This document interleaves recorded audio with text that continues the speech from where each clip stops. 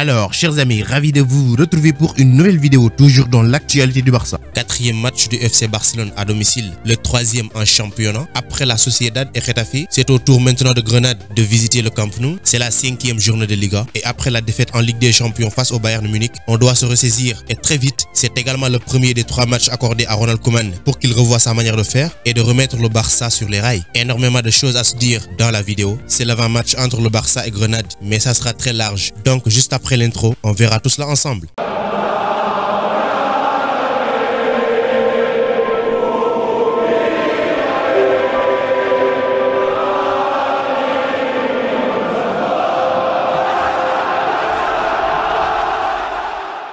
Donc avant de commencer la vidéo, je vous présente Barça Shop. C'est un site de vente en ligne qui vend tout ce qui est en rapport avec le FC Barcelone. Il y a pratiquement tout ce que vous voulez pour supporter le Barça. Chaussures, casquettes, bonnets, maillots, et ainsi de suite. Et la bonne nouvelle est qu'il livre partout. Donc n'hésitez pas à cliquer sur le lien en description. Le premier, suivez les instructions et passez votre commande. C'est très simple à faire et ça va surtout aider la chaîne.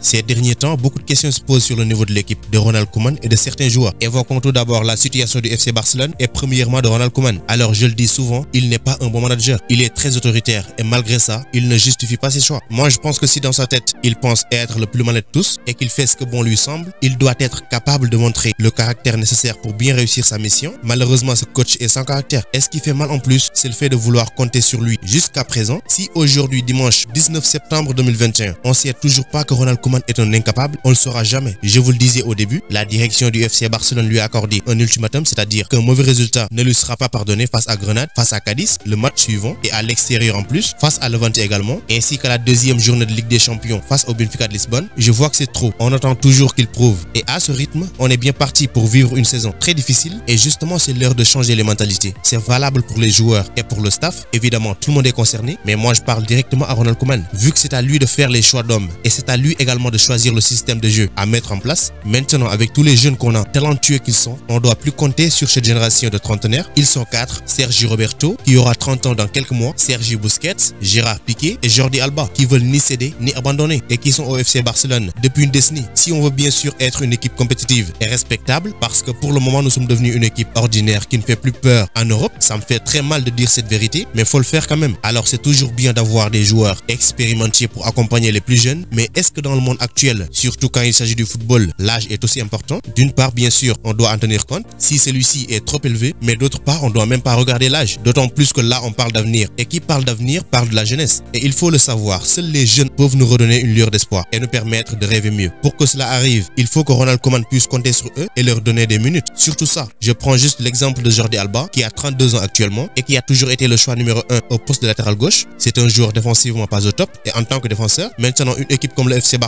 ne doit pas être une équipe de charité. Désormais, aucune médiocrité ne doit être acceptée. Les joueurs qui ne sont plus à la hauteur doivent tout simplement avoir la reconnaissance de le manifester et chercher ailleurs. Xavi l'a fait, André Iniesta l'a fait également. Maintenant, un jeune comme Alejandro Balde, il a montré qu'il a le talent et qu'il est surtout capable d'assurer la relève. Et tous qui ont regardé la rencontre face au Bayern de Munich ne diront pas le contraire. Mais avant cela, il a prouvé avec les jeunes de sa catégorie d'âge et il est tellement précieux. Jordi Alba n'est pas le seul. Il y a aussi le cas Busquets et pour son remplacement, faut pas chercher loin. Nico Gonzalez est bien placé pour ça. Il a la taille qu'il faut et le talent. Pablo Gavi est un joueur également qui doit être un élément important de ce milieu de terrain, sans oublier Ricky Puig. Alors il commence un peu à disparaître alors qu'il est un excellent joueur. Il ne joue pas parce que tout simplement il ne plaît pas à Ronald Koeman. Sinon parmi les Massian qui sont dans l'équipe, il fait partie des meilleurs. Et malheureusement pour son manque de jeu, on parle moins de lui. Et franchement ça fait très mal de le voir tout le temps sur le banc. Pur gâchis. Donc ce que je veux dire est que tant que Ronald Koeman continue à faire confiance et à privilégier ce quator, ne pensons même pas à un futur meilleur. Encore moins à une saison parfaite. Et justement c'est le moment. C'est le moment de faire confiance à ce qu'on a et de faire jouer ces jeunes-là. Et ça doit commencer lors du prochain match face à Grenade ce lundi. Maintenant, je dis pas qu'on doit composer un 11 typiquement équipe B, mais on doit les responsabiliser en les faisant jouer. Actuellement, les équipes sont en train de travailler sur comment être plus compétitives en s'appuyant sur leurs jeunes. Je prends juste l'exemple du Real Madrid. C'est les jeunes qui font le taf actuellement, contrairement à nous. Et parlant de jeunesse, la bonne nouvelle avant la rencontre, c'est le retour de Fati. Il s'était gravement blessé contre le Betis Séville, se déchirant le ménisque du genou. Et après avoir été absent pendant près d'un an, il pourrait revenir la semaine prochaine contre le 20 et peut-être même il sera sur la liste face à Grenade ou face à Cadiz.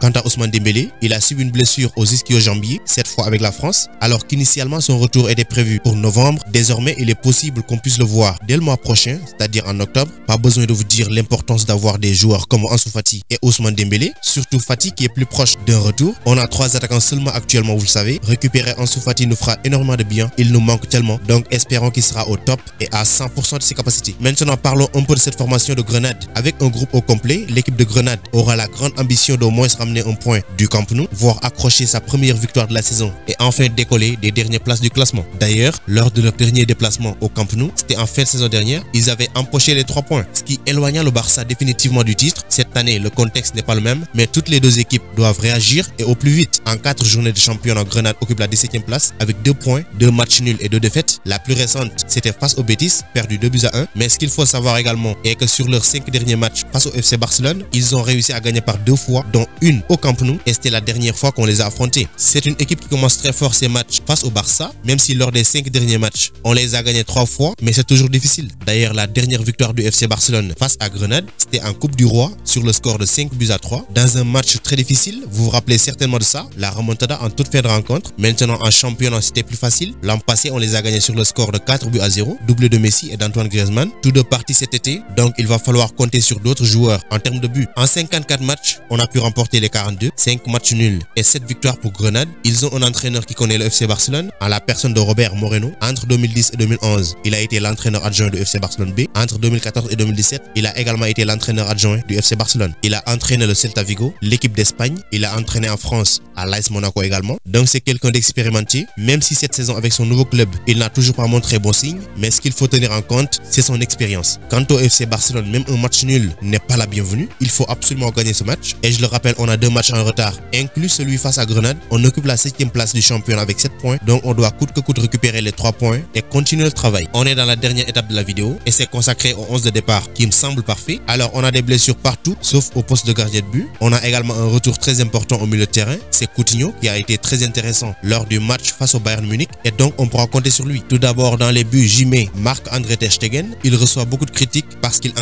mais c'est pas de sa faute. S'il a devant lui ça, ça serait impossible de ne pas encaisser des tonnes. En tout cas, moi j'ai confiance en lui et je sais qu'il est l'un des meilleurs portiers au monde. En défense centrale, Jimé Araujo, qui devient de jour en jour indiscutable et indispensable pour le FC Barcelone. Malgré que sa relance n'est pas aussi bonne, il peut l'améliorer. C'est l'un des joueurs les plus importants de cette équipe. Je l'associe à Minguesa. C'est pas pour punir Eric Garcia, mais je trouve que dans les interventions défensives, Oscar Minguesa est plus dur que Garcia, qui malgré tout reste un grand défenseur. Au poste de latéral gauche, Jimé Alejandro Balde, puis Calba est blessé et même s'il était à 100%, je pense qu'il doit être concurrencé et ne plus être indiscutable dans cette équipe. On doit privilégier les jeunes. À droite, Jimé Serginho Dest, c'est le seul qu'on a à ce poste, bien qu'Oscar Minguesa peut jouer sur le côté droit, mais je le préfère quand il est en défense centrale. Au milieu de terrain, je choisis un trio Coutinho comme milieu gauche, Frankie de Jong à droite et malheureusement Busquets, c'est le capitaine, on peut le mettre sur le banc, d'autant plus que c'est l'un des quatre capitaines que j'ai choisi pour la composition. Donc il va jouer devant la défense, c'est-à-dire en pointe basse et endosser ce rôle de sentinelle pour aider à la première relance. En attaque, là on n'a pas mille options, nous sommes obligés de faire avec trois attaquants seulement, Memphis Depay sur le côté gauche, Youssouf Demir à droite et Lucky De Jong en pointe. Vous l'avez constaté, c'est un système en 4-3-3. Si vous avez également une composition à proposer, mettez ça en commentaire, on va en discuter. Donc c'était tout pour cette vidéo. Merci de l'avoir regardé jusqu'à sa fin. Continuez à vous abonner à la chaîne, mais n'oubliez pas d'activer la cloche de notification. Vous êtes les meilleurs. Ciao, à bientôt.